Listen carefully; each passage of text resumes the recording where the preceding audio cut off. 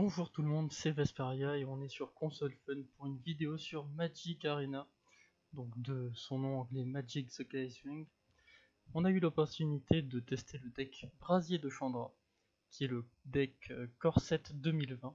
Les decks Corset, qu'est-ce que c'est? C'est les decks les plus simples à jouer de Magic, euh, l'idéal pour se lancer dans cet univers-là.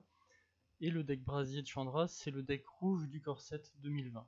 Donc on y trouve un Planeswalker, Chandra, Furie des Flammes, euh, et en plus, le deck contient quelques cartes exclusives, euh, comme la vague de flamme de Chandra, l'élémental pyroclastique, ou encore l'élémental grèche-feu. voilà, donc je vous propose tout d'abord de lancer une partie contre l'ordinateur pour voir comment le deck se déroule un peu, comment il se joue, pour voir les mécaniques. Et dans une deuxième partie de vidéo, on verra le deck en conditions réelles contre un autre joueur. Ok, donc on est parti on va jouer contre euh, Sparky, cette petite euh, lumière qui nous aide au début du jeu. Elle nous fait faire le tutoriel. Et euh, c'est elle qui permet de faire des combats contre l'ordi. Bon, c'est une main raisonnable. Mais ce qui est embêtant, c'est qu'il n'y a pas de créature qui se joue dès le début. Donc on va changer de, main. Et c'est tout aussi moyen, mais on va s'en contenter pense que on va abandonner notre cher élémental. Et c'est parti. Donc on va commencer avec euh, le chien.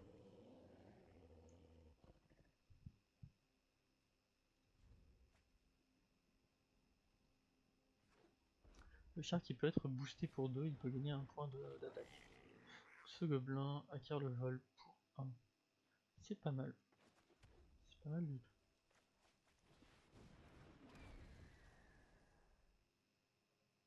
On va pas attaquer, on n'a pas envie que le chien meure de suite. Ça viendra peut-être, mais pas de suite. Sacrifier un artefact ou un terrain, piocher une carte. Ok, c'est pas ouf. Pour l'instant en tout cas.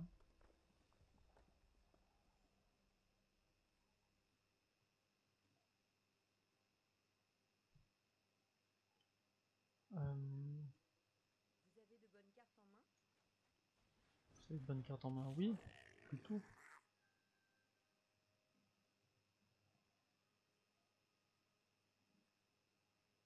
Ce qu'on va faire, c'est qu'on va sacrifier celle-là et détruire celle-ci. Et on va attaquer avec, euh, avec uniquement la vol, qui peut pas être bloqué puisqu'il a plus de mana. Voilà, on passe euh, Sparky à 19 points de vie.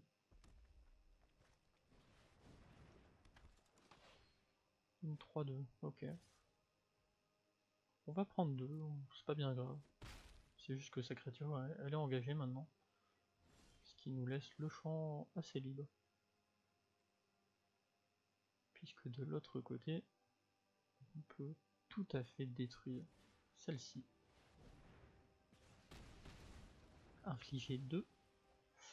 Celle-là, elle gagne plus 3 plus 0 parce qu'il y a eu des euh, blessures indirectes et les blessures indirectes, c'est le cœur de, de, la mécanique de ce deck là.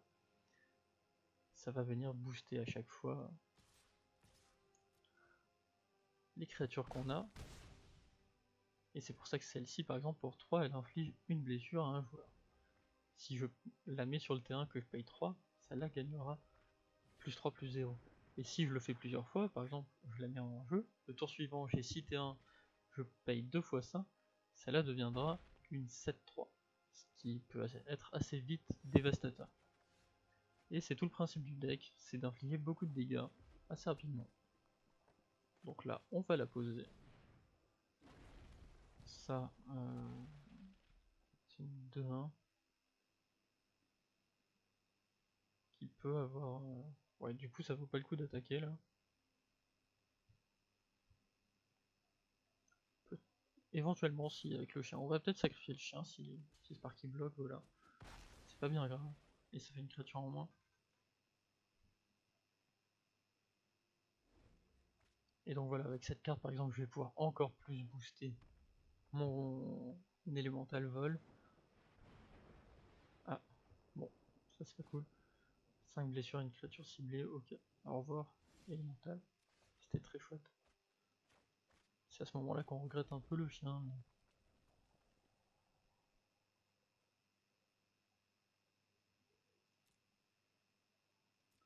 Du coup, on va attaquer avec tout.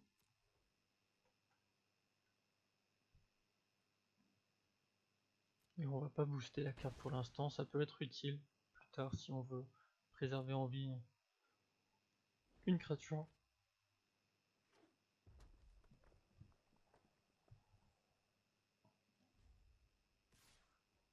Voilà, on prend deux, c'est pas bien grave. qui est à 10, nous à 14. Euh, un peu trop de terrain qui sortent pour l'instant. On va passer le tour, histoire de bloquer le prochain tour, hein. le temps de dérouler un peu le deck, que ce soit intéressant.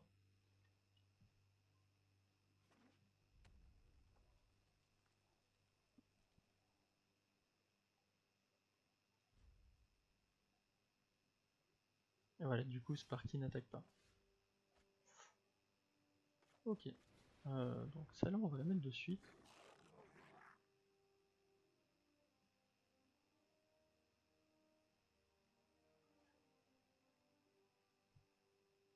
Et euh, là, en calculant, donc si infligé 2 à, à l'ennemi, il sera 8, ce qui boosterait celle-là de 3.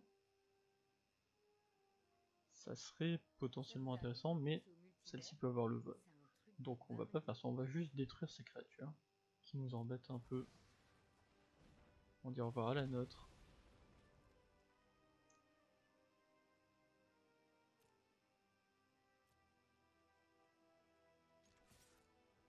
Voilà. On va booster. Sparky passe à 6. Et voilà, on va juste préparer le terrain pour la fin de la partie, pour montrer un peu plus du deck, sereinement. Ah ben, je vois qu'on se retrouve, Sparky.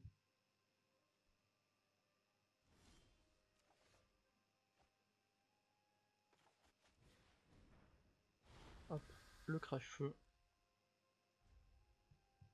Crash-feu qui donc infligera une blessure automatiquement au joueur si j'attaque avec. Et c'est pour ça que Sparky me détruit cette créature. Parce qu'elle est très intéressante en combo avec celle-ci. Bon, j'imagine que Sparky ne va pas attaquer, voilà. Et là, on va infliger deux blessures à Sparky et à ses créatures. On va jouer Chandra, enfin on va récupérer Chandra dans la bibliothèque. Et là si je veux, ben Sparky, euh, si, oui, d'ailleurs, on va faire ça. Vu qu'elle a été boostée, grâce à cette carte qui a infligé 2 dégâts directs, on va attaquer et euh, Sparky sera obligé de, bloquer pour survivre. Sauf que sa créature va mourir et pas la mienne.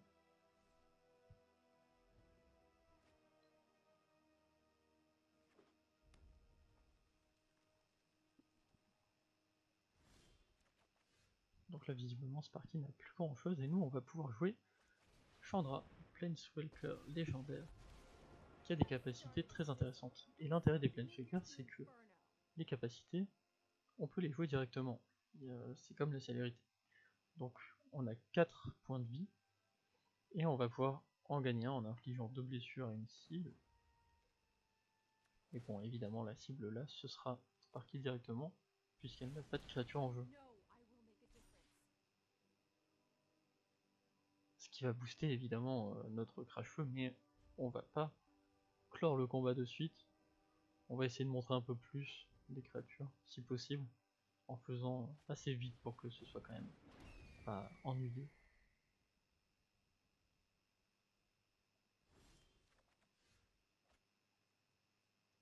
Donc on a à nouveau un crash-feu. On va infliger deux blessures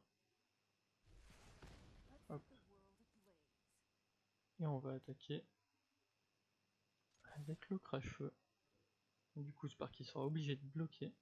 Et comme sa créature a déjà encaissé. Ah non, pas obligé, non. Autant pour moi. Sparky passe à un point de vie. ce qui est. Ce qui est osé dans sa situation.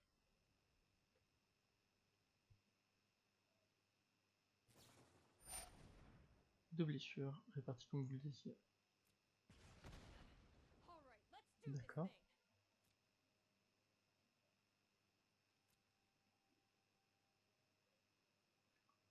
Ça n'a pas servi à grand chose. Malheureusement pour Sparky. Alors. Bon, on va refaire la même. Hein. Cette fois, Sparky sera obligé de bloquer.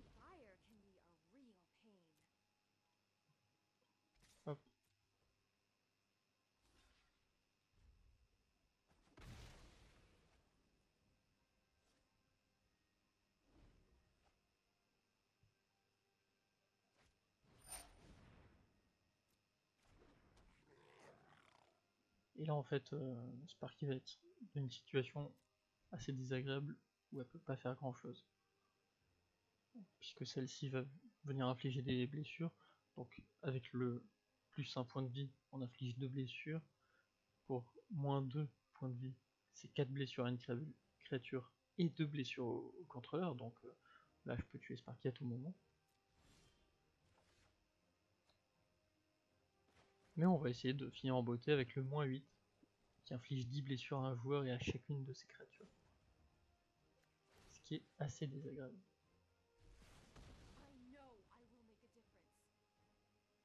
Voilà.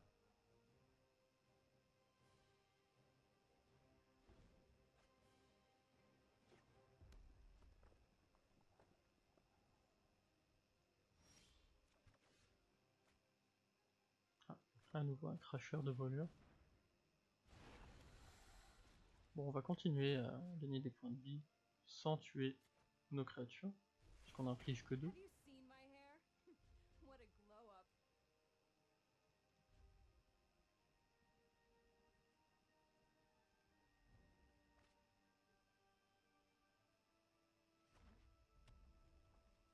Et Sparky qui n'a que des terrains, c'est assez terrible lui arrive.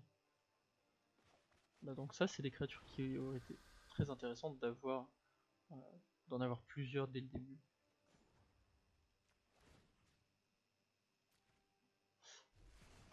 Bon évidemment en, temps réel en combat réel on ne fera pas ça, là c'est juste pour avoir assez de points de vie sur Chandra pour finir en beauté, mais euh, en soi ça n'a pas beaucoup d'intérêt de faire ça, faut, faut vraiment avoir... c'est très situationnel.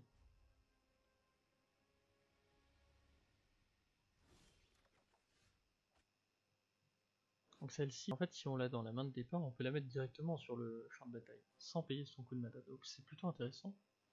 Et d'autant plus que à chaque fois qu'un des permanents du contrôle devient la cible d'un sort ou d'une capacité de l'adversaire, bah, cette carte va faire deux blessures directes l'adversaire. Donc là, admettons, je pose cette carte. Si je saute mon tour et que Sparky, euh, par exemple, me met un enchantement sur une de mes créatures pour la bloquer, bah, Sparky prendra 2 dégâts et mourra. Donc euh, je sais pas si l'intelligence artificielle peut faire ça, dans le sens où ce serait assez maladroit. En tout cas on va pas lui laisser le temps. Et, euh, je pense qu'on a vu à peu près les principales mécaniques de ce deck. Utiliser des blessures directes pour booster ses créatures et attaquer avec. Il y a une créature qu'on n'aura pas vue mais on va essayer de voir ça en ligne. Là c'était juste un aperçu assez rapide. Et du coup, on va dire au revoir à Sparky, euh, qui aura été un adversaire, ma foi, honorable. Bien joué, Sparky. Tu n'es qu'à moins 9. Tu aurais pu être à beaucoup moins. Voilà, on se retrouve de suite pour la deuxième partie de la vidéo.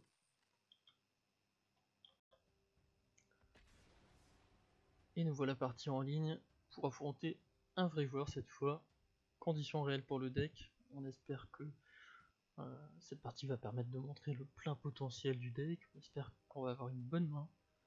une bonne pioche, et si possible, euh, bah, gagner la game, hein. ce serait pas mal pour la vidéo. Voilà. Donc on est en recherche. Tout va se jouer très prochainement. En tout cas, c'est un deck que j'aime beaucoup. Euh, moi qui suis plutôt bourrin dans mes mécaniques, euh, c'est vrai que c'est sympathique à jouer. Et c'est assez grisant de, bloquer l'adversaire en détruisant toutes ses créatures. Euh, de prendre le pas rapidement. Parce que c'est un deck qui va se jouer assez vite. Là où l'ennemi, si il a un deck qui se joue lentement, et qu'il arrive à avoir ce temps, et eh ben il va prendre l'avantage finalement. Ce qu'il faut absolument éviter. Donc c'est une main euh, pas terrible, malheureusement. On va quand même la tenter. On a deux terrains, on a des créatures qui valent 2 à jouer. L'adversaire joue en premier et il a gardé ses 7 cartes. On va dire bonjour. Alors, début du combat, si vous contrôlez 3 créatures, vous gagnez plus 1 plus 1, vous gagnez un point de vie. D'accord, donc c'est un deck point de vie. On en voit pas mal euh, dernièrement.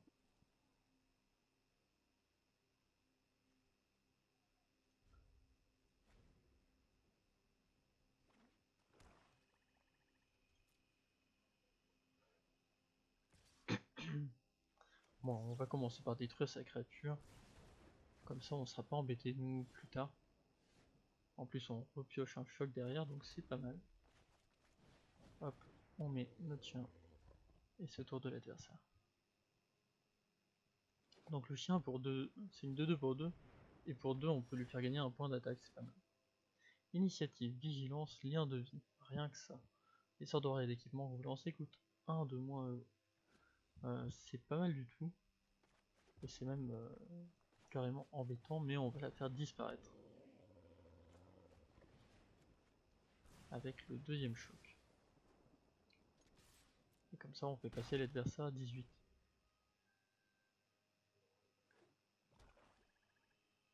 Voyons voir ce qu'il va faire.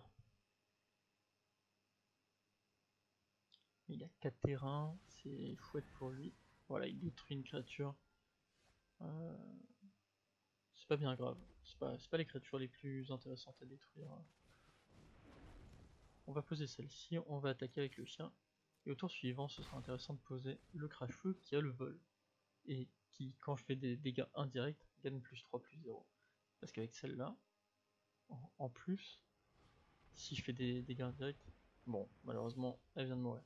Mais je vais gagner encore un de plus.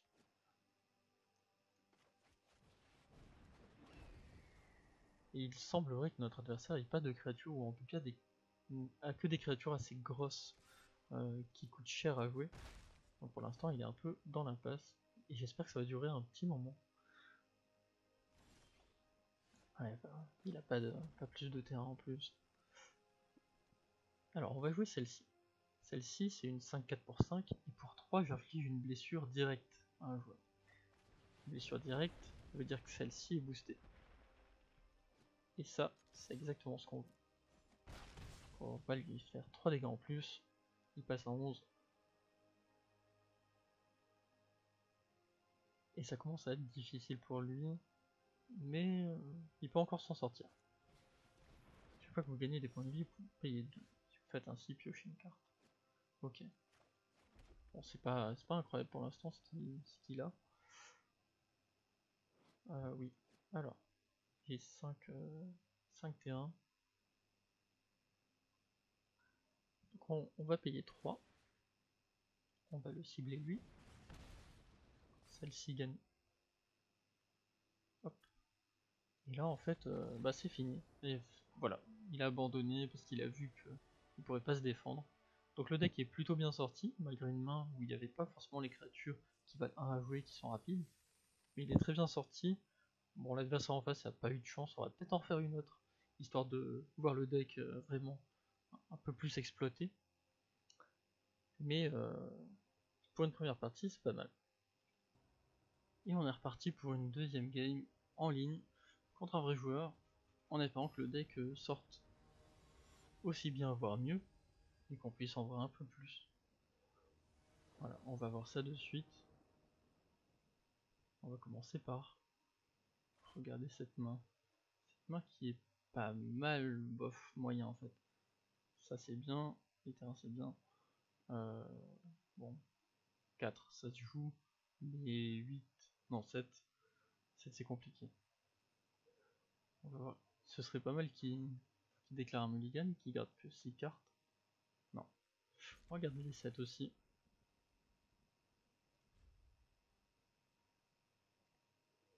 Et c'est parti. Donc là évidemment on va commencer par celle-ci. Pour avoir une force d'attaque, hein, toujours. On est pressé, finalement. Hop. Hop. Et c'est à toi.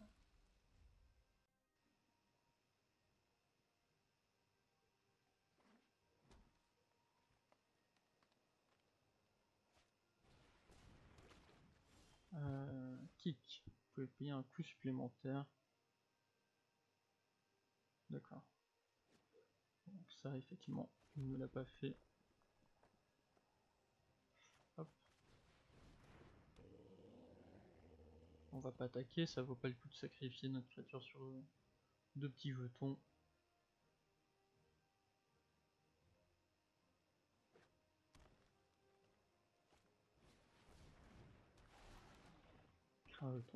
Donc lui, ce qu'il va faire, c'est mettre beaucoup de jetons. C'est tous des saprobiontes, évidemment. Donc il va tous finir par les booster tôt ou tard. Et, euh, et ça va être vite relou. Mais on va essayer de s'en sortir. Essayer de s'en sortir dès le tour suivant. Commencer à attaquer un peu ses forces. Sacrifier deux créatures, envoyer une carte de créature ciblée d'objet votre cimetière. D'accord. Pas très utile dans, dans ce cas-là pour l'instant. Par contre, celle-là, il va falloir la détruire.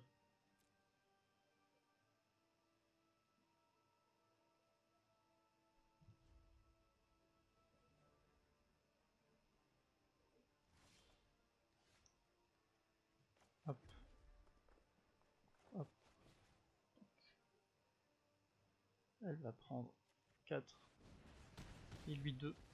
Il va passer à 18. Et on va pas attaquer. Pour l'instant, ça ne sert à rien. On va arriver à 6 terrains. Si on arrive à 7, ce serait euh, parfait. On est à 5. On va infliger 4 blessures. Il passe à 16.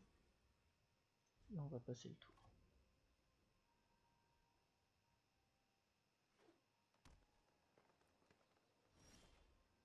Ok, on aura cette terrain, ce qui va être franchement chouette.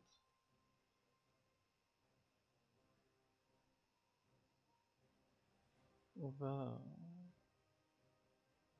On va garder ça pour l'instant. Ça c'est un éphémère, à la limite on le jouera après.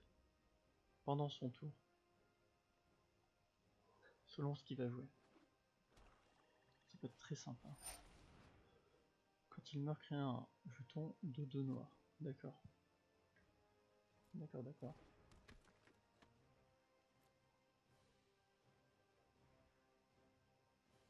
Fin du combat. Euh... Ah, J'ai envie de dire, créez-le maintenant. Il vient peut nous embêter plus tard. Passe à 14. Et voilà. Ensuite. Hop on va mettre le dragon. Le dragon, s'il ne le tue pas d'ici le tour suivant, ce sera impeccable. On va pas attaquer celle-là euh, de deux zombies, d'accord C'est pas rien d'inquiétant pour le moment.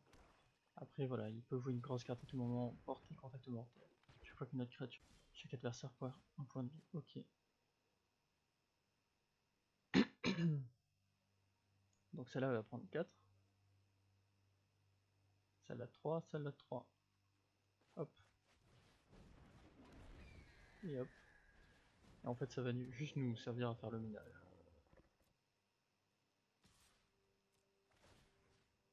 Alors, 4, 3, 3. Cette carte est excellente, c'est juste qu'elle elle sort difficilement. Mais du coup il passe à 7. Et c'est fort possible qu'il abandonne. Vu tout ce que j'ai sur le terrain, il y a quand même peu de chances que qu'il puisse retourner la situation là. En tout cas, le deck est bien sorti. Le sien, par contre, n'est pas bien sorti, je pense. Et de toute façon, voilà, il va rien pouvoir faire contre la créature avec le vol. Mais j'ai déjà affronté un, de ces decks et euh, les jetons saprobiontes avaient tous été boostés parce qu'il y avait quelque chose qui boostait les saprobiontes. Et du coup, ça faisait euh, très vite, très très mal. Bon bah on va attaquer avec tout. Et voilà.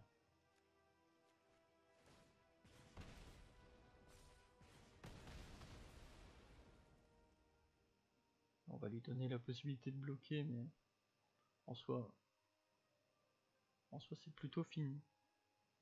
Voilà. Bien joué. Bah, le deck est très bien sorti. Euh, si en face le deck était mieux sorti, ça aurait été sans doute beaucoup plus galère. Mais, euh, mais en l'état, il n'y a pas à se plaindre.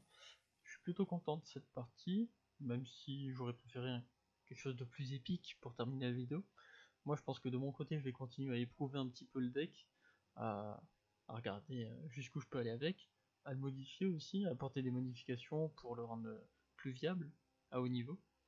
Et, euh, voilà, je suis très content d'avoir pu tester ce deck.